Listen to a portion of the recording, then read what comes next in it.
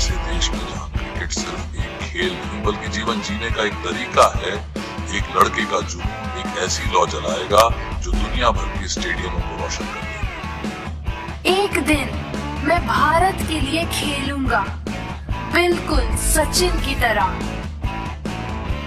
लेकिन प्रसिद्धि और सफलता की कीमत चुकानी पड़ी। दुनिया उनके हर कदम पर नज़र रख रही थी। इसलिए विराट को ऐसे दबावों का सामना करना पड़ा एक क्रिकेट दिग्गज की अनकही कहानी, जिसकी यात्रा ने एक देश को प्रेरित किया और खेल को हमेशा के लिए बदल दिया।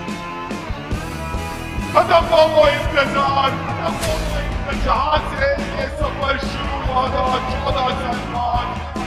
उनचासवा शतक विराट कोहली के नाम।